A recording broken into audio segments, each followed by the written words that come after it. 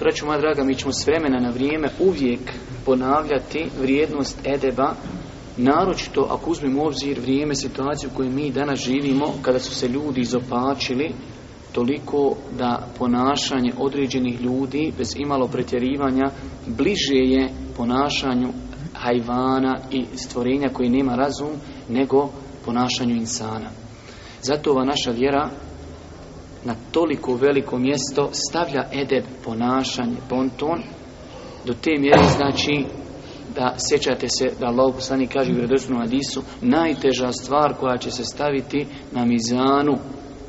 na sudnjem danu jeste lijepo ponašanje. Allah poslanik alaihi salatu wasalam kaže čovjek svojim lijepim ponašanjem može dostići deređu postača klanjača koji po danu postoji najveći klanja.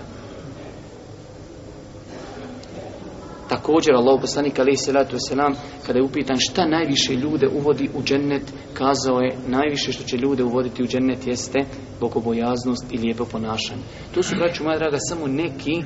u dugom nizu hadisa koji govori o vrijednosti Allaha tako ne treba nikome od nas da bude e da kažemo naporno dugo sjediti i izučavati ovu tematiku. Mi smo kazali postoje u islamu mnoge druge tematike koje su bitne ima fik svoje mjesto, akida ima svoje mjesto, ali svakako i edeb ponašanje ima svoje veliko mjesto.